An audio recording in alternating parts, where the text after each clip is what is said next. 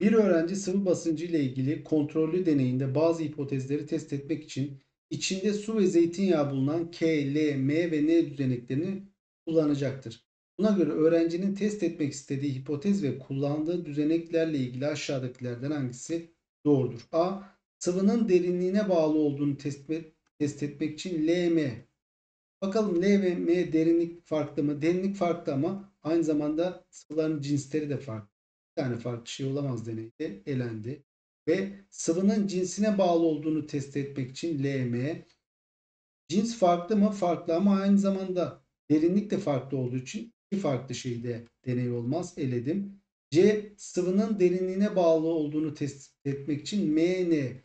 M ve N'nin derinlikleri aynı zaten. Farklı olacak ki e, test edebilirim. Eledim. D kabın şekline bağlı olmadığını test etmek için K ve N düzenekleri. Bakalım kabın şekilleri farklı mı? Farklı. Cinsleri aynı mı? Aynı mı? Yükseklikleri aynı mı? Aynı. Demek ki D seçeneği gibi olabilir. Doğru cevap D'dir.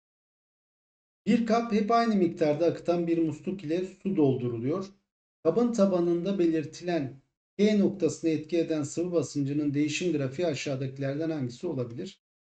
K noktasına bakalım. İlk başta su akmaya başladığı zaman yükseklik arttığı için K noktasında basınç artacak. Ama kabın tam ortasında bir set var. Bu sete kadar artış gösterecek. Ama bu sete ulaştıktan sonra su artık burayı doldurmak için e, burayı dolduracak ve bu arada K'nin üstünde yükselmeyecek. Demek ki bir sabit nokta olacak. Önce artı sabit nokta oldu. Sonra burayı da tamamen doldurduğu zaman ilkine göre biraz daha yavaş yani biraz daha yatay bir e, yol izleyecek. Baktığım zaman ilk önce artmış. Sonra diğer tarafı doldurmak için durmuş. Sonra ilk duruma göre biraz daha yatay bir yükseliş olmuş. Yatay yükseliş olmasının sebebi sıvı basıncı yükseklikle arttığı için burada daha geniş bir yeri dolduracağı için yükseklik yavaş artıyor. O yüzden burada eğik bir çizgi olmalı. Doğru cevap A seçeneği. Diğerlerine baktığımız zaman ikinci kısım yok. Burada zaten sabitlenme yok. Doğru cevap A'dır. Özdeş 3 kapta aynı derinlikte sıvılar bulunmaktadır. Kapların tabanlarındaki eşit derinlikte bulunan herhangi birer nokta için aşağıdaki yorumlardan hangisi doğrudur? A. Sıvıların cinsleri farklı ise etki eden dik kuvvet eşittir. Baktığımız zaman dik kuvvet olarak ağırlıklarını kastediyor. Çünkü birim yüzeye demediğine göre basıncı kastetmiyor. Sıvılar farklıysa tabii ki ağırlıkları da farklı olacak. Eşit olamaz. B. Sıvıların cinsleri farklı ise sıvıların uyguladığı basınçlar eşit olabilir. E, basıncı oluşturan yükseklikler zaten eşit. Sıvıların da farklı olursa ikisi çarpılacağı için eşit bir değer bulamayız. Eliyorum. C sıvıların cinsleri aynı ise etki eden dik kuvvet eşittir. Bu doğru. Çünkü aynı ağırlıkta olacaktır. Aynı miktarda sıvı. Kaplar özdeş. Doğru cevabım C'dir. D'ye bakıyorum. Sıvıların cinsleri aynı ise sıvıların uyguladığı basınçlar farklıdır. Hayır. Aynı ise aynı olur. Bunu da eledik. Doğru cevabımız C seçeneği. Farklı cinste K ve L sıvılarını kullanarak bir ve ikinci kapların tabanlarını etki eden sıvı basınçlarının eşit olması sağlanmak isteniyor. Bir ve ikinci kap aynı maddeden yapılmış ve aynı yükseklikte. Buna göre işlemlerinden hangileri yapılırsa amaca kesinlikle ulaşılamaz. 1. K ve L sıvılarının her birini farklı bir kaba eşit derinlikte olacak şekilde koymak. Bunların yükseklikleri eşit olur bu durumda ikisinin de.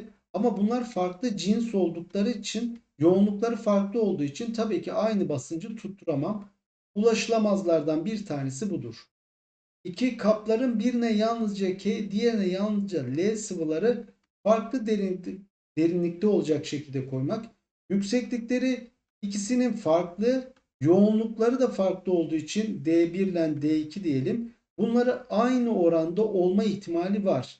O yüzden buna ulaşılabilir. Yani eşit basıncı oluşturabilirim böyle. 3. Birinci kabın içine K sıvısından ikinci kabın içine L sıvısından kapların açık kısımlarına eşit uzaklıkta olacak şekilde koymak. Bunun anlamı yine yükseklikleri eşit olur. E, cinsleri farklı olduğu için yine aynı basıncı tabanda bulamam. Buna da ulaşamayız. Hangilerine kesinlikle ulaşamayız dediğine göre 1-3-B seçeneği doğrudur. Bir deney için delikli bir kabın delik kısmına balon takılıyor. Kap su ile doldurulduğunda delikte takılı balonun şiştiği gözlemleniyor. Yapılan bu deney ile ilgili sonuçlarından hangilerine ulaşılabilir? 1. Sıvılar bulundukları kabın tabanına basınç uygular. Balonun şişmesiyle bu tabana uygulanan basınç arasında bir ilişki yok. Buna ulaşamayız. Sıvılar temas ettikleri yüzeylere basınç uygularlar. Evet burada balonun olduğu kısmına temas ediyor ve buraya da basınç uyguluyor. Buna ulaşabiliriz. 3. Sıvı basıncı derinlikle doğru orantılıdır. Buna da ulaşamayız. Buna nasıl ulaşabilirdik? Farklı bir derinlikte başka bir balon olsaydı o zaman ulaşabilirdik. Baktığımız zaman cevabımız yalnız 2 B seçeneği. Bilgi kutusu basınç sıvıların derinliği ve yoğunluğu ile doğru orantılıdır. Sıvının yoğunluğu ve derinliği arttıkça uygulanan basınç da artar. Özdeş 3 kapta K, L ve M sıvıları bulunmaktadır. Sıvıların derinlikleri arasında H1 küçük H3 o da küçük H2 ilişkisi vardır. Kapların tabanlarına uyguladıkları sıvı basıncı aşağıda grafikte verildiği gibidir. Buna göre sıvıların yoğunlukları arasındaki ilişki aşağıdakilerden hangisi olabilir? Bakalım yoğunluğu bulmamız için e, basıncı bulmamız için yoğunlukla yüksekliği çarpacağız. Yani D1 çarpı H1 burada D2 çarpı H2 burada da D3 çarpı H3 yapacağız. Aşağı yukarı şöyle rakamlar verebiliriz H'lar için. Bu 1 ise en küçük. Bu 2 ise bu da 3 olsun. Sonuç olarak buradaki sıvı basınçlarında K'nin yani şunun en büyük olmasını bekliyorum. 1 ile çarptığıma göre yoğunluğu yani en küçük yükseklikle çarptığım için en büyük değeri vermesi için D1'in en büyük olması gerekiyor. Aynı şekilde L burada en küçük. Burada ise L'nin yüksekliği en fazla olduğu için 3 dedik ona. Ona demek ki küçük bir D2 vermemiz lazım. O zaman D2 de en küçük olur. Arada da D3 kalır. Şimdi bakalım bunlar kime ait? D1 K'ye ait. K büyüktür diyeceğim o zaman. Diğeri D3 M'ye ait. D2 de L'ye ait. K, M, L yani A seçeneği doğru cevap.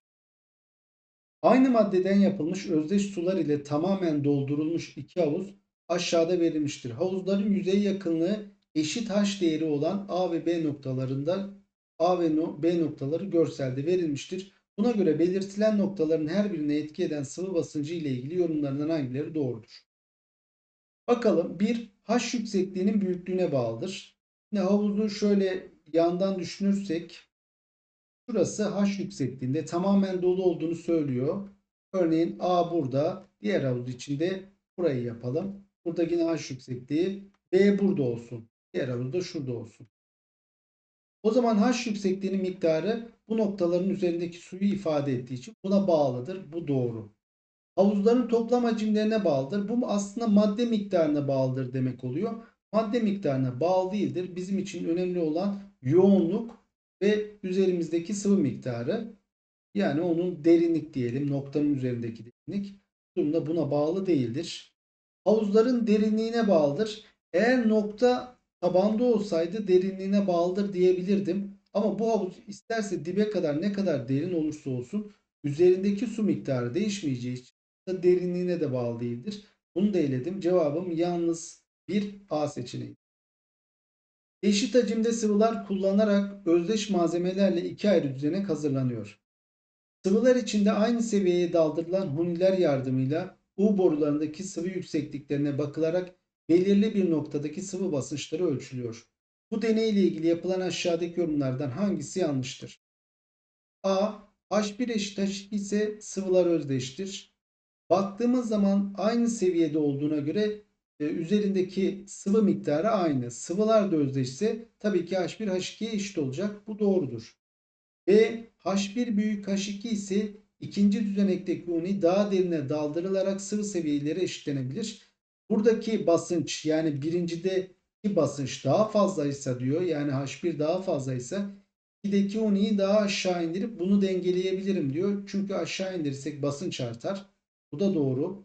C H2 büyük H1 ise ikinci düzenekteki sıvı birinci düzenekteki sıvıdan daha yoğundur. Bu da doğru çünkü o zaman e, aynı seviyede olmalarına rağmen H2 daha büyük çıkıyorsa demek ki yoğunluğu daha büyüktür. D birinci düzenekteki Huni daha yukarı çıkarıldığında H1 seviyesi artar. İkisi için de geçerlidir. Hunileri aşağı indirirsek Basınç artacağı için H seviyeleri artar. Yukarı çıkarırsak üzerindeki basınç azalacağı için H seviyeleri de azalır. Çünkü bu H seviyeleri basıncı ifade ediyor. Yanlış olan D seçeneği.